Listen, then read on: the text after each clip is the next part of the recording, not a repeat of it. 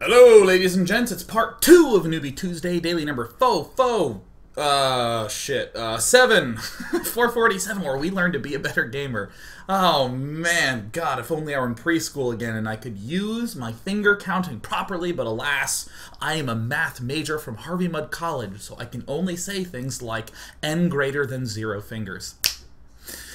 In part number one, we did a very simple review of a simple ass build order structure that Progenitus came up with all by himself. He looked at a game that Stephano did where he maxed at 11 minutes and came up with a fairly clean collection of this. Oh, my camera didn't transition. Of this. Created these build order groups, filled them out with when to build units. Notice that it's mo mostly drones, drones, drones and then in the advanced, ordered some things. Maybe wrote down some exact food timings, like 14 and 16. Maybe some things like two gas in my main when the third finishes. And he played only 11 games in single player. Again, 11 games at around 8 minutes a game. This will take less than 89 minutes. doesn't take very long, especially if you envision yourself just sort of dabbling in this a little bit throughout the course of a week. It's no time at all. But now it's time to test it on the ladder. We're going to see crazy shit thrown at Progenitus. Huge varieties of things, and we're still going to see that skeleton crop up again and again. Now, one thing that I have not actually explained in too much detail, we, in uh, last week's daily, and the week before that, the last two Fun Day Mondays, other than this one, we looked at the idea of translating a build order into this. In this daily, we're looking at executing that build order and trying it out.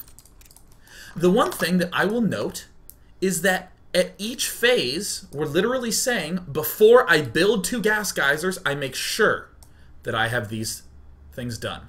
Before I build my Evo Roachwarren gas Lair macro hatch, I'm going to make sure that I have completed step three, that I've completed step two. The important thing to note is that at each of these, there's a hidden check out opponent and make sure that you can step to the next phase.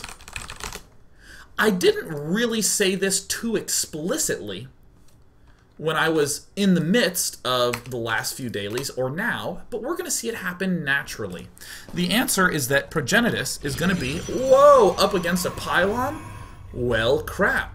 I'll just expand to my third down here. Drone kind of went out to do a little bit of scout, but we found our opponent. We see he's early expanding. Cool. Have some drones do some whacking away action. Cool. We still built our queen first. We got our two lings out. We forgot this overlord, but we still know about how we need to go.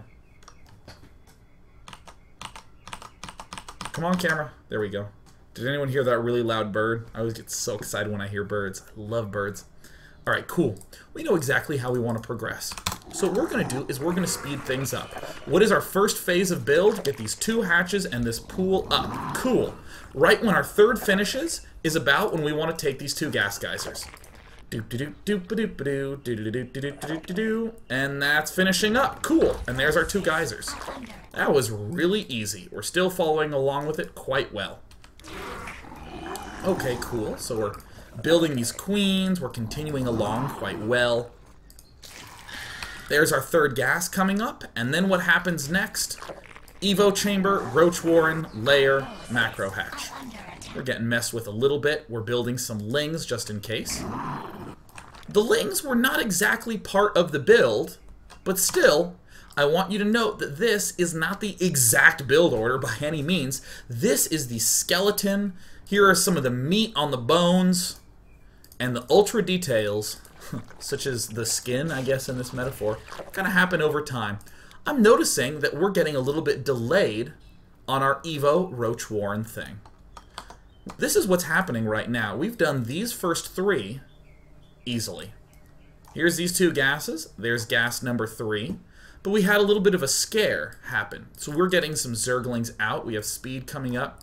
Here's a spine crawler also coming down. We might panic and build a spine crawler here as well. But then we're going to continue on just fine and dandy. Here's where some big variation comes in. Oh my god, a Void Ray. Oh my god, a Void Ray. We weren't accounting for this in our practices, but that's fine. We do the intuitive thing. Now we're going to see the huge benefit of having this simple skeletal structure come up. Very simple skeletal structure. We build the emergency defenses that we need to build. We are still getting Lair right on time. We still got this Evo chamber and stuff. We're just sort of panicking and building some queens as fast as we can, but we're still getting the macro hatch. Because that is part of this build order. Evo, Roach Warren, Gas, Lair, Macro Hatch. Do we do all those? Evo Chamber, Roach Warren, Lair, Gas, Macro Hatch. Yeah, right on. We actually got all of it. We're doing the intuitive answer, throwing down a bunch of spore, um, spore crawlers. But we can do a little bit of flavor, adding this Hydralisk Den because he's still making oh so much air. But still note, very little changes with that underlying structure. We have places we want to go now. Previously, we were able to get maxed at 12 minutes, but not when we're, you know, losing overlords, we're being supply blocked, when we've had to build all these spore crawlers. That's very normal. Don't obsess too much about these sorts of times. Getting Roach Warren speed, getting the attack level 1, and then an, an amazing and delightful thing occurs where because Progenitus has a clear sense of what's going on, with his build order, he continues to get Burrow, Overlord speed, and at 13 minutes, he's getting ready with a gigantic max army and just 1As. Huge, overwhelming amounts of stuff. Just like Stephano. There was a total mess up where he accidentally right-clicked there. just really wanted to kill that gateway in the midst of all his units being murdered. But yeah, this is looking really good for Progenitus.